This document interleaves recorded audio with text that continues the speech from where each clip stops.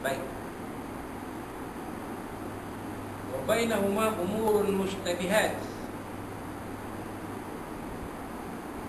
La ya'lamuhunna kathirun minan nas. Dan antara keduanya ada perkara-perkara Syubahat Yang banyak. Kebanyakan manusia tidak mengetahui. Memang banyak tu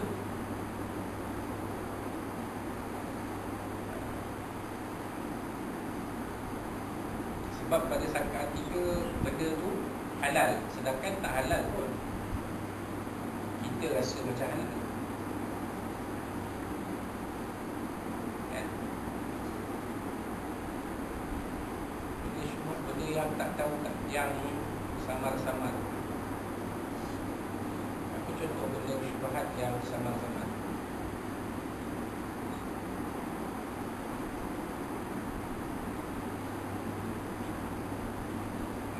Contohnya setengah-setengah. Ah, Setengah-setengah ubat ni. Kita tak tahu status dia macam mana Boleh makan tidak Ada bahan-bahan dalam ubat tu yang Terdiri dari barangan Dari bahan-bahan yang diharam Yang tidak halal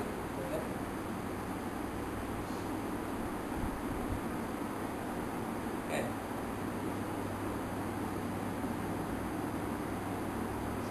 setengah-setengah ubat datuk contoh. Bahan dia tu. Ah, adakah bahan-bahan di dalam ubat batuk itu ada tak yang daripada bahan-bahan yang haram kita tak tahu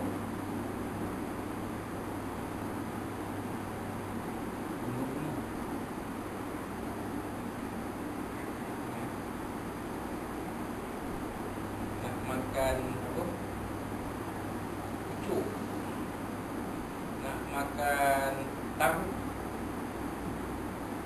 orang Cina je kan orang Muslim kita batal tak pernah tanya pun halal ke tidak tak pergi tengok pun kilang dia buat. Macam mana cara dia buat? Tak boleh tengok.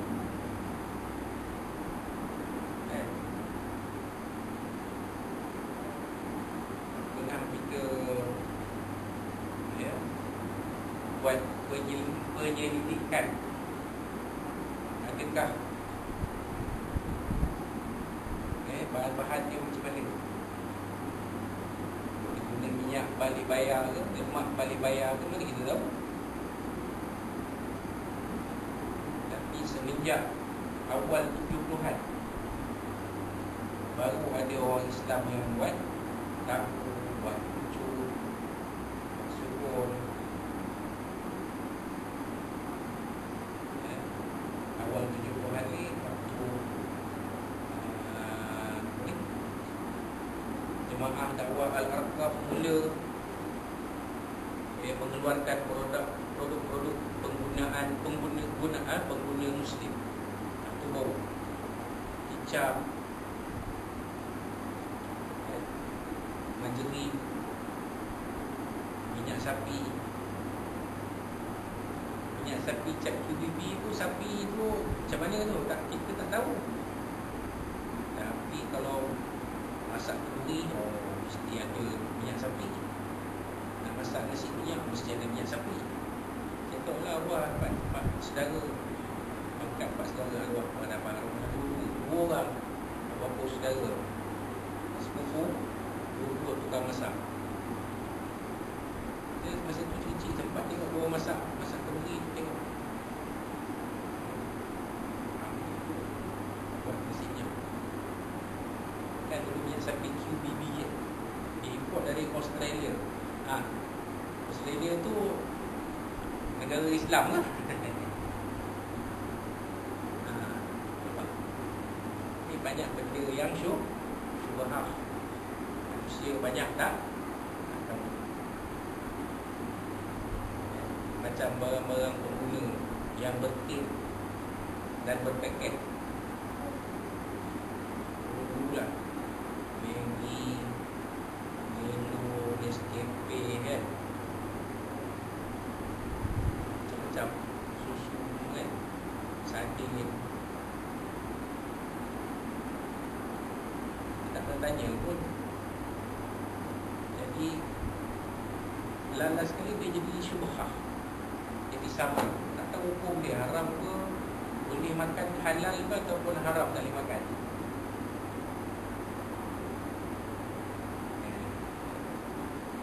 Tu di Malaysia tu belum lagi kita pergi luar negara boleh pergi luar negara lagi lah Bapa saya waktu dia pergi berkhusus di Jerman tak hanya makan di kedai makanan Turki sahaja.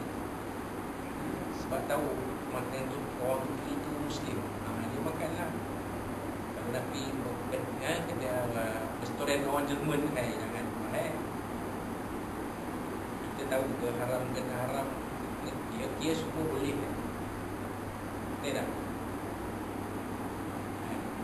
Sebab itu kesedaran tentang halal itu belum Belum meluas Sekarang Dikatakan industri makanan halal Sedang berkembang dengan Pesatnya Di seluruh dunia Orang, orang Islam pun dah tahu dah mereka pun dah ada kesedaran tentang pentingnya makanan halal. So mereka dah buat kajian.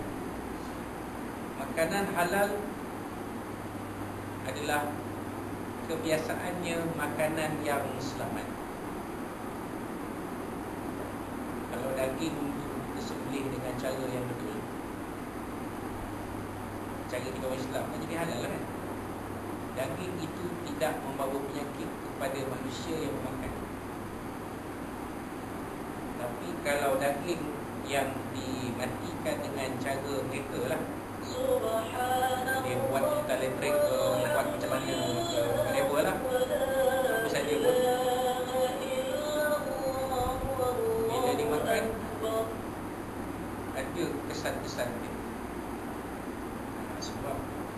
makanan itu, daging itu tidak Tidak halal.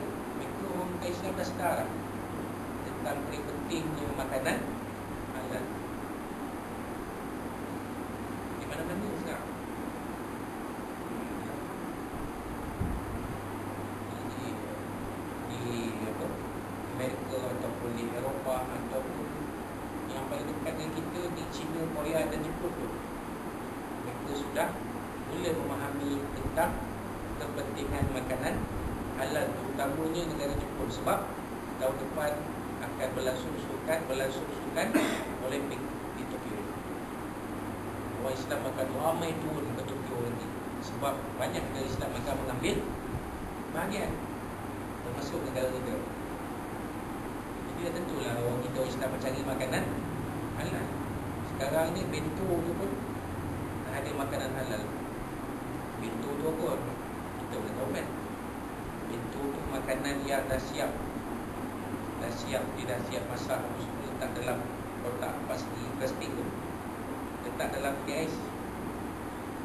Bila kita beli kat 7-Eleven bawa balik boleh panaskan ataupun di 7-Eleven tu sendiri boleh panaskan. Namanya bento pasti. Kalau tu ada makanan yang dah siap masak tapi dibekukan dia letak dalam gas. Itu pun dah ada dah ada yang halal makanan-makanan ni tapi halal sebab mereka dah faham. Tapi waktu Nabi sebut ni Memang betul lah. Ada perkara-perkara yang ya, Samar. Subhanallah tak tahu Halal ni orang Manusia ramai tak mengetahui ni ya, eh? Itu Sebahagian dari Hadis yang kita baca Hadis yang kita Panjang lagi ni. Bau urai sampai wa bainahuma umurun mushtabihat la ya'lamunna katsirun minan nas. Kita belum urai lagi yang seterusnya. Sebab jadi agak sedikit panjang dan uraiannya pun kalau di karang ditulis pun berkajang-kajang surat kepusukan. jadi kita berhenti situ. Ya. Daripada pemerik tapas syubhat pemerik setiap pada hari ini di wahir ha, ah, yang kita akan sambung pada bulan hadapan. insyaAllah. Kita sambung pada bulan hadapan ah, eh, Yang itu pada ah, uh, 16 Ogos 2019 16 Ogos 2019 insyaAllah. Beberapa hari selepas Hari Tashrik. Raya 11 Hari Raya Haji Hari Raya Korban 11 Hari Ahad ya, Dan akan berterusan sampai 14 Hari Rabu. Nah, ya, Kita boleh melaksanakan ibadah korban Dari 11 sampai 14 14 Ogos. Bersamaan 13 Zulhijjah Semula 16 Ogos 2019 akan sambung.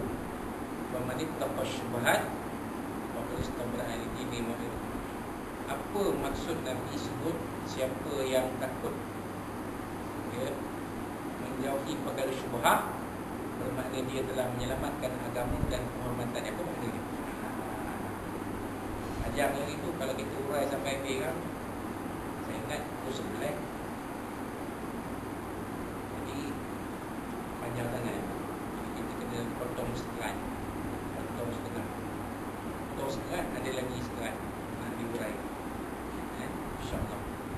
Pada bulan kita akan datang iaitu pada 16 16 Ogos 2019 insyaAllah.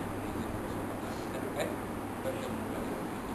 Jadi itulah dia. Sikit sebanyak untuk kita boleh kongsikan pada malam ini mudah-mudahan apa sebab kongsikan pada malam ini ada manfaat kita bersama untuk kita jadikan panduan dan kebaikan Allah yang bagi kita syarikat yang kita bagi kita sampaikan adalah dalam apa yang disampaikan di dekat sabasa melalui berjalan semua semua di Taala yang bisa salam dan dari dan dan saya ini mengambil kesempatan untuk mengucapkan kepada sama menyebut yang lain ini Muhammad Hari Raya Haji yang dikapan dan selamat kasih kita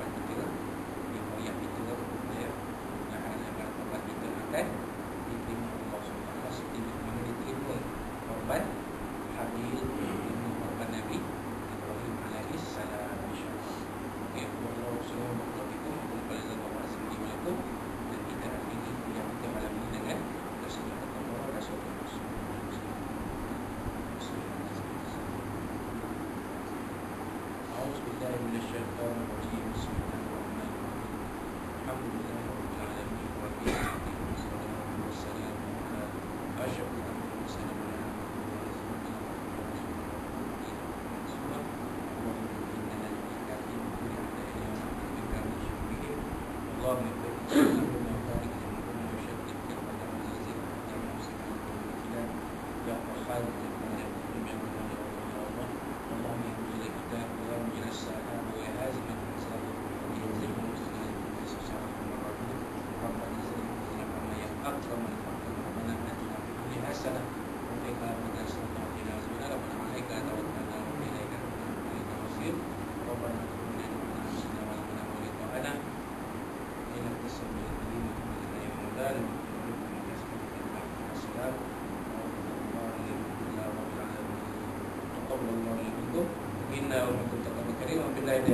ومنكم تقبل كريم وبالله التوفيق والسلام عليكم ورحمة الله وبركاته